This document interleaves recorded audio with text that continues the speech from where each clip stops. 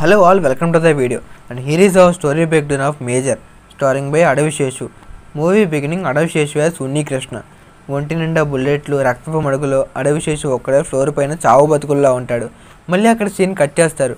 ఆ తర్వాత నుండి మూవీ అడవి శేషు ఫ్లాష్ బ్యాక్లో కన్వర్ట్ అవుద్ది. అది నవంబర్ ఇరవై ఎనిమిది రెండు వేల ఎనిమిది. ఇండియన్ ఆర్మీ కర్నల్ ఒక ఎమర్జెన్సీ మీటింగ్ కండక్ట్ చేసి టెన్ కమాండర్స్ని ఇరవై సోల్జర్స్ని బ్లాక్ టోరెంట్ ఆపరేషన్కి సెలెక్ట్ చేస్తాడు. ఆ టీంకి హెడ్డే అడవిశేష్. తన టీంతో ఫుల్గా ప్లాన్ చేసుకుని grenades AK forty five MP forty గన్స్ని పట్టుకుని తాజ్ హోటల్ బ్యాక్ సైడ్లో ఉన్న మిడిల్ స్టెప్స్లోకి ఎంటర్ అవుతారు. ఒక్కొక్క స్టెప్స్ ఎక్కుతూ ఉంటే సెకండ్ ఫ్లోర్లోంచి వాటర్ కారుతూ ఉంటాయి. ఒక్కొక్కడికి వేసుకుంటూ ముందుకు వెళ్తుంటే షూస్ సౌండ్ వల్ల టెర్రరిస్టులకు వినిపించి హై అలర్ట్ అయిపోతారు. కృష్ణ అండ్ తన టీం సెకండ్ ఫ్లోర్కి చేరుకుంటారు.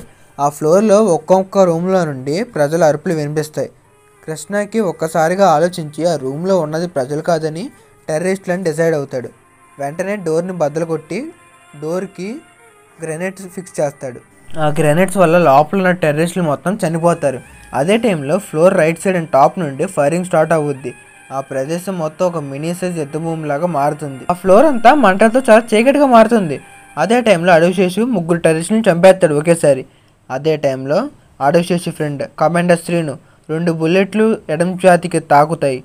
పేలిన గ్రానైట్ ముక్కలు కూడా బాడీలోకి వెళ్ళడంతో అక్కడే శ్రోకోలు పడిపోతాడు. వెంటనే అడుగు చేసి స్మోక్ బాంబ్ వేసి కమాండర్ శ్రీనుని తనని ఎత్తుకొని ఫస్ట్ ఎయిడ్ చేయించడానికి బయటకు పరిగెడుతూ మరోవైపు టెర్రరిస్టుల పైన ఫైట్ చేస్తూ ఉంటాడు.